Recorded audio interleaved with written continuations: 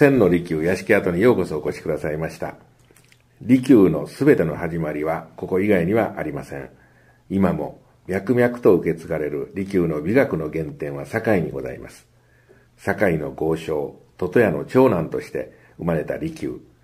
やんちゃな若き日、人間としての苦悩や葛藤、修行への道、利休生誕の地は、産湯に使ったと言われる椿の井戸を残すのみですが、利休の生きた息吹を今に伝え、茶の湯の聖地になろうとしています。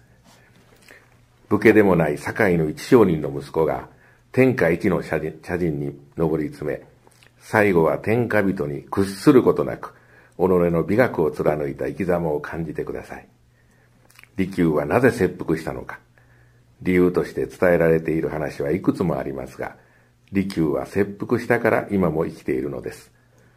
命乞いをする方法はいくらでもありました。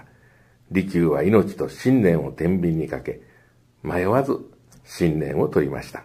だからこそ今も千家の茶道が世界中で楽しまれているのです。私がぬかづくのは美しいものだけでございます。これが利休の信念です。信長亡き後、利休と秀吉は二条大目の部屋の中で多くの人と一期一会の出会いをし、天下を共に目指しました。利休亡き後の秀吉は茶室で利休と過ごした日々に思いを馳せていたそうです。椿の井戸のそばで瞑想しますと、利休の心境が垣間見えてまいります。